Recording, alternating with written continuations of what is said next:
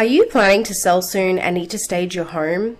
Here's how I transformed this empty room into a gorgeous bedroom. When selling, you need to make sure the space is clutter free and easy to move around in. I only incorporated the essentials here.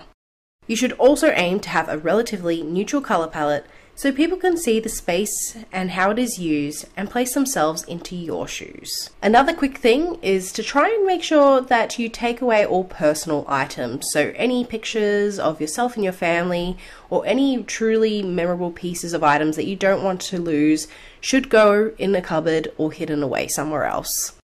Happy staging!